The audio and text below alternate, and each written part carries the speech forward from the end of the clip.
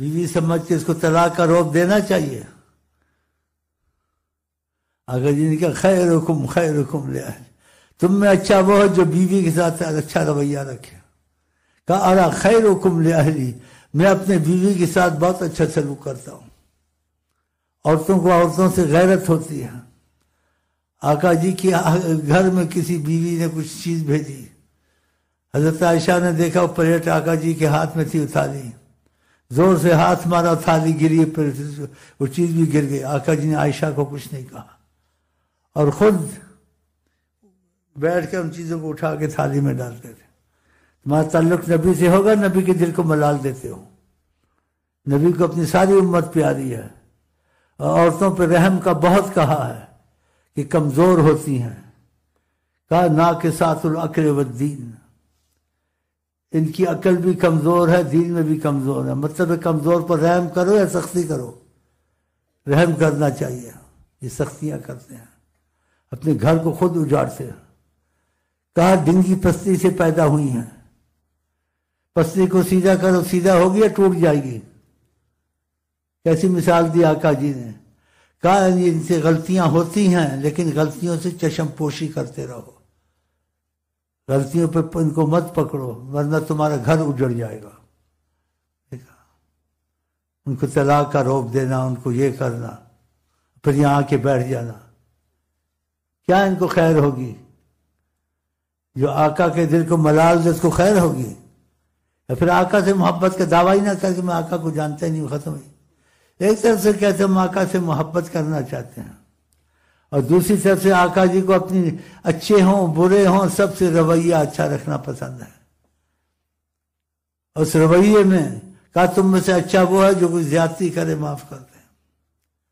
जो तुम्हारे काम ना आए, तुम उसके काम आ जाओ।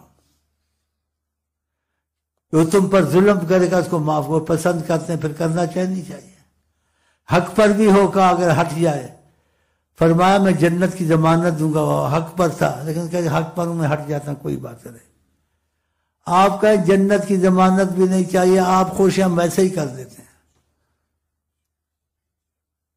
तल्लुक की नीयत से आते हैं बैठते हैं फिर वही काम जाके घरों में करते हैं। दस दस साल, पाँच पाँच साल साथ रहे। इतना दुख होता है, या तो खुदा को हदायत दे, या ईमान पर मौत दे दे। तो औरतों के दिल खराब हो जाते हैं। क्योंकि आका जी कहते सख्ती जिस चीज़ में घुसती है, उसको बिगाड़ देती है। कहा, नरमी जिस जिसमें दाखिल होती, नरमी कहा सवार देती है? कहा, मन होरे हरमल रिफ्क मर खैर कुल्लो। जिसको नरमी से खुदा ने महरूम किया रसूल अल्लाह फरमाते हैं, खुदा ने हर खैर से उसको महरूम किया। ऐसी सख्ती घर में करनी चाहिए औरतों के साथ। जालिम आके बैठ जाते हैं यहाँ तस्बियाँ पढ़ क्या तुम्हारी तस्वीर क्या तुम्हारी इबादत? जब नबी करीम की हरमत और अजमत तुम्हारे दिल में नहीं है तो ऐसे जुल्म औरतों पर नहीं करने चाहिए। अगर औरत तुम्हारी इज़्ज़त में ख्यानत नहीं करती, जितनी गलतियाँ करे माफ़ कर दो। और इज़्ज़त में ख्यानत करे, वो माफ़ी नहीं है। इज़्ज़त में ख्यानत आप समझ गए होंगे कि तुम्हारी इज़्ज़त में ख्यानत नहीं करती। बाकी जबान चलाती है, आगे से जवाब देती है। वक़्त पे खाना नहीं देती है। और चीज़ें गलत करती है। लेकिन तुम्हारी इज़्ज़त का ख्याल करती है। उस पर गड़बड़ है। सब माफ़ कर दो। इसी आता है कि जिसने यदि बद इखलाक औरत पर सब्र किया, माफ़ी दे। अयूब सलाम की सब्र का दर्जा खुदा देगा उसको। बताएँ, ऐसा मफहूम में आता है। खुदा का खौफ करो, ऐसे ना करो। आते हो, जाते हो, औरतों पे जुल्म करते हो। उनकी गलती की, उसको डबल सिंगल हद से ज़्यादा सजा देते हो। ऐसे नहीं करना चाहिए। खिलाकन भी नहीं करना चाहिए। लेकिन जिस चीज़ में नबी दखल दें तो उस चीज़ में ज़्यादा ख्याल करना चाहिए ना। तो नबी कहीं दखल दिया इस चीज़ में। तो ऐसा करते हो, घरों को उजाड़ते हो अपने। औरतों पर तुम्हारी माँ बेटियाँ नहीं है। अपनी माँ बेटियों की तरफ़ कुछ और सोचते हो। वो भी किसी की बेटी है कि बहन है। तो उसको भी माँ बाप को ख्याल चाहिए बाद माँ बाप जाती करते हैं। कि दूसरी की बेटी घर में आ जाए, बहन घर में आ जाए, लड़का लेके आया तो उसके साथ सख्ती। और अपनी बेटी किसी के घर में हो तो उस पर नरमी आका जिनका वो ईमान वाला नहीं है, जो अपने लिए पसंद करता है, दूसरे के लिए भी ऐसे ही कहे तो क्या फ़ायदा यहाँ आने का, जाने का? क्या फ़ायदा वजीफे पढ़ने का? आका जी ने कहा, एक औरत है, रात दिन नमाज़ और वगैरह, लेकिन इखलाक की बुरी है। आपने कहा, जहन्नम में जाएगी इखलाक की अच्छी नहीं है। तो ऐसा नहीं करना चाहिए। हाँ एहतियात करें। इतनी नैत खानी करना, आका की खूबियाँ सुनी फिर आका से मोहब्बत के रास्ते को अपनाना ना, जिनसे नबी करीम खुश हों। उस रास्ते को पसंद न करना गलत करना क्या फ़ायदा होगा तो खुदा तौफीक दे ऐसी गलतियाँ नहीं करनी चाहिए। हर चीज़ में उनको सोचना चाहिए कि वो नाराज़ ना हो जाए। तो, तो तुम्हारे लिए लाखों खुशियाँ पैदा कर देंगे। उनके दिल की खुशी तुम्हारी दुनिया आखरत को सवार देगी हाँ। तो इन खुदा आपको हमको तोफीक वाला बनाएगा। औरतों को दबाना फिर उनको डराना मैं तुझे तलाक दे दूँगा, शेख तक खबर ना पहुँचे। ये मैंने हुक्मन मना किया है। कहीं मना करो, ना करो, लेकिन शेख तक कोई किसी का खामन या बीवी खबर पहुँचाए, उसको बोलो, खुली पहुंचाओ। जो तबीब से अपनी बात छुपाएगा मर्ज में मरेगा मर्ज से बचेगा।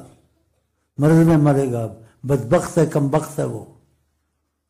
किसी की बीवी उसको कहीं मना करता है, ना बात करे, ठीक है, करे। लेकिन शेख के पास शिकायत भेजे उसको बोले तो खुली इजाज़त है अगर आपस में तस्सी ज़्यादा हो, और औरत भी उसको क्या मर्द को उधर खुली इजाज़त है लेकिन वो आपस में ख़त्म करें, शेख तक बात ना पहुँचे तो अच्छा है। ये सुन्नत रसूल है। क्योंकि नबी करीम फरमाते साहबा को तुम आपस में ख़त्म करो, मेरे तक ना पहुँचे बात। इसलिए तरीकत के असूल में ऐसा है, कैसा है? बहुत नाजुक मामला है शेख का। अगर शेख को खुदा ने नवाजा हुआ है, कोई दावा नहीं है उसका दिल का बदलना अच्छा नहीं है, उसके दिल में फ़र्क आना अच्छा नहीं है। शेख पर ख्याल है, नबी पे ख्याल है, फैज बंद हो जाता है। मैं आपको बता दूँ। तो आपस में तस्वीर करें कि मना ना करें उसको। कि शेख तक अगर बात गई मैं तुझे तलाक दे दूँगा या रखूँगा या ये होगा। नहीं मना करना। और बीवी खामद को मना ना करे। बल्कि ये हुक्मन मैंने कहा पहुँचा सकते हैं बात यहाँ। लेकिन वो, वो कोशिश करें मेरे तक बात ना पहुँचे वो आपस में इसको ख़त्म करें या भाइयों को डालें कि हमारा तस्फिया हो जाए। और औरतों को ज़्यादा माफ़ी देना चाहिए।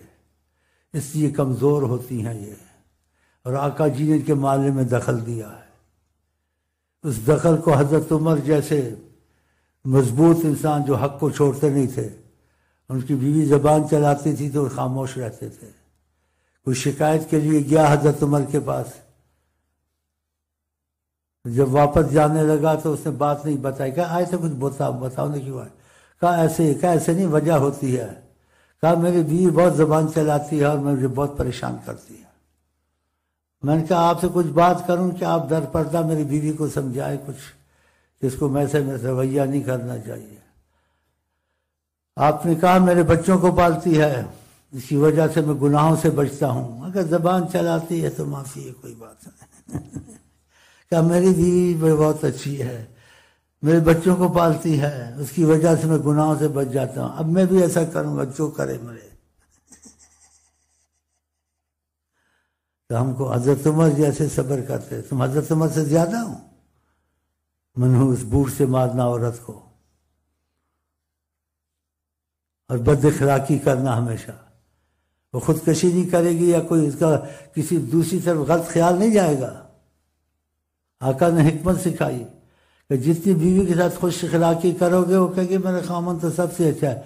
उसी, उसका किसी गैर मर्द की तरफ़ दिल नहीं जाएगा। या तुम बद अखलाकी करोगे, उसका जहन खराब करोगे। वो दूसरे की तरफ़ नज़र उठाएगी अच्छा तुमने खुद अपने को बेगैरत बनाया और अपनी बीवी का जहन खराब किया। अब वो गैर मर्द को तकसी अच्छा है गैर मर्द तकने से तुम्हारी इज़्ज़त भी खतरे में पड़ेगी। पड़ेगी नहीं, पड़ेगी। हाँ तो ऐसा नहीं करना चाहिए। ये हमत हमको, आपको किसने सिखाई है? हज़रत मोहम्मद मुस्तफ़ा ने। कि अपनी बीवियों के साथ अच्छा रवैया रखो।